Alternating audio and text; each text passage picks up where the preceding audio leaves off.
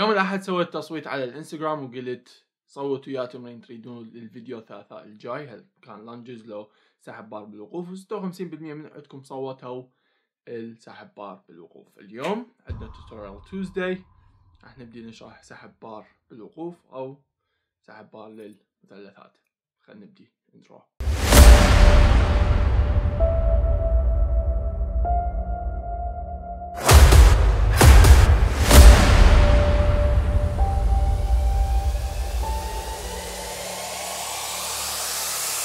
السلام عليكم شباب فرقد وياكم aka scorpion واليوم اليوم عندنا سحب بار بالوقوف نتعلم. قبل لا نبدأ بالفيديو هذا واحد من التمارين اللي العالم تخاف منه بأنه تمرين خطر يسوي فد internal rotation بال shoulder وهذا راح يأذي الكتف ويسوي لك إصابة و و و و يعني حاكي بهذا الموضوع وقال بأنه ماكو أي تمرين خطر ماكو في التمرين يسوي لك إصابة. الإصابة تجيك من عدة أمور أول شغلة حركتك غلط بيها ثاني شغلة إذا أنت أصلا عندك فد مشكلة بالمفصل مالتك إذا أنت عندك فد limitation بال joint مالتك نفسه فأكيد طبعا راح تخلي فالضغط على هذا المفصل راح يسوي لك إصابة أو إنه يخلي فد ألم على المفصل.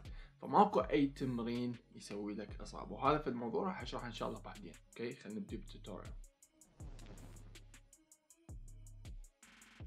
أول شغلة راح نبدأ بها هي قبضة البار تلزمه ضيق لو وسط لو عريض هذا الشيء يعتمد على أنت يا عضلة تريد تستهدفه. بشكل عام هو راح يشتغل على الأكتاف وعلى المثلثات. كل ما إيدك كانت ضيقة كل ما راح يركز على المثلثات أكثر. كل ما أنت تعرض كل ما يبدي يدخل الاكتاف الموضوع عضلة الأكتاف تطب الموضوع. والعريضي اللي هو يركز على الأكتاف أكثر شوية المثلثات تكون أقل. ترابيزيوس بالنسبة للناس المو عراقيين ما يعرفون يعني شو المثلثات. لكن بشكل عام إذا أنت شوية مستواك متقدم راح تقدر تركز على العضلة من ناحية الارتباط العصبي العضلي مالتك. أقدر أني اخذه عريض وأركز على المثلثات. أقدر أقدر اخذه ضيق وأركز على الأكتاف أكثر. فهذا الشيء يعني إنه هم يعتمد على تركيزك وعلى الارتباط العصبي العضلي مالتك ومستواك بشكل عام. لكن اليوم اللي إحنا راح نشرحه راح نشرحه إنه نركز به على المثلثات. لذلك القبضة راح تكون ضيقة. نجعت على طريقة السحب. طريقة السحب راح يكون البار كلش قريب من جسمك. فتخيل إنه أنت قريب من فد حائط من جدار معين يمك وما يصير تطخ هذا الحائط فايش راح تسوي؟ راح تسحبه بهذا الشكل. فضروري إنه البار يبقى قريب من جسمك. فلا تأخذه إنه البار يكون بعيد لأنه إحنا متعلمين. biomechanical كل ما البار يبتعد عن الجسم كل ما يصير ضغط أكثر على الجسم. نجي فيما يخص الذراع مالتك ضروري المرفق مفصل المرفق مالتك يكون هو أعلى نقطة. يعني هو يكون ال leading point ضروري من تصعد إنه مرفق مالتك يكون عالي حيل على مود تتقلص المثلثات. شوف هواي ناس إنه من يلزم البار ودا يصعد الساعد مالته يكون بموازاة البار. يعني هذا البار وهذا الساعد مالته هيك فدا يكون بموازاة المفروض إيدك حيل إنه أنت منزل البار يكون المرفق مالتك اعلى فلذلك ما راح تقدر تصعد هواية. شوف هواي ناس الركب وهذا راح نشرحه هسه. بنهاية الفيديو راح نشرح الأخطاء ونطب نحكي بها بشكل تفصيلي أكثر لكن حاليا اللي تحتاج تعرفه بانه المرفق لازم يكون أعلى نقطة حتى تقدر تقلص المثلثات أو ال trapezius muscle أكيد على ما راح تصعد راح تحاول إنه تحصل العضلة مالتك من تنزل النزول ضروري يكون بطيء. لا إنه بس أنت مجرد تنزل وتفكر أنا صعدت البار وها هي.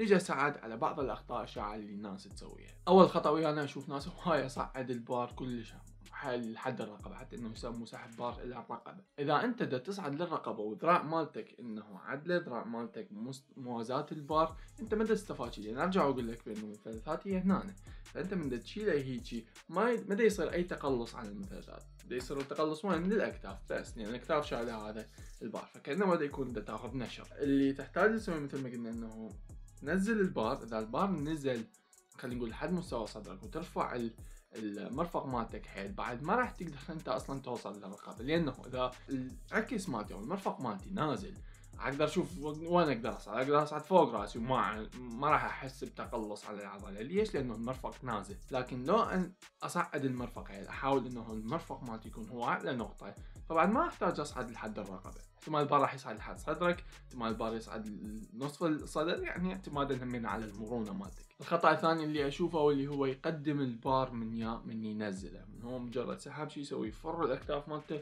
وحتى أشوف انه يقول له شمره لي قدام على مود تتقلص المثلثات ليش؟ يعني فكر إذا أسوي هيجي هاي راح إنه تقلصت المثلثات. هاي المثلثات ما تقلصت. إذا نجي على التشريح مال ال trapezius راح نشوف إنه هي تبدي من الرقبه مالتك من ال skull bone يعني الجمجمة تقريبا. زين وتنزل عاد هي طبعا ثلاث أجزاء نقسمها ال upper fibers وال middle وال lower traps okay؟ فإحنا بما إنه إحنا بدنا فوق فهي إنه تكون نازلة بهذا الشكل. فحتى تقلصها كل الشغل أو كل وظيفتها ال upper traps مالتك هي بس مجرد elevates the shoulder. فهي انه ترفع ال shoulder مالتك وتنزله هيك. ما تسوي rotation ماكو أي rotation بالموضوع. فذكر ما يحتاج تشمر البار للأمام. كل اللي تحتاجه هو بس مجرد صعود نزول بشكل عمودي على الأرض. فقط لا غير. صعد طبيعي؟ انزل طبيعي على كيفك الخطأ الثالث واللي أشوفه هو إنه من ياخذ التمرين ما يرفع الأكتاف مالته إنه بس مجرد يصعد وينزل بدون ما يرفع الأكتاف. إذا بالحقيقة نجي على وظيفة العضلة أو خلينا نقول تشريح العضلة راح نشوف إنه بالحقيقة المثلثات مالتك ما مشلبة بالذراع مالتك صح؟ فإذا نريد نعزلها راح يكون حالها حال الشرقز إنه انت هاي الحركة. فإذا أنت بدك تصعد وما تسوي هاي الحركة ما يكون التقلص الأمثل لهاي العضلة. فحاول إنه من تصعد شوية ارفع حتى تقدر تقلص. فشوف الفرق.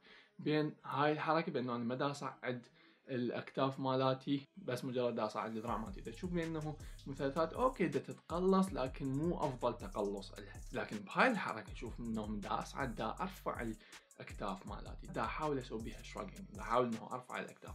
وبالتالي المثلثات مالتي أو ال trapezius مالتي قامت تتقلص بشكل أفضل. فهذا عد اللي كان عندي بهذا الفيديو. سوي like سوي comment سوي subscribe إذا ما مسوي. وأكيد سوي لهذا الفيديو share ويا ناس موجودين عندك حتى الكل يستفاد ونشوفكم إن شاء الله بالفيديو الجاي.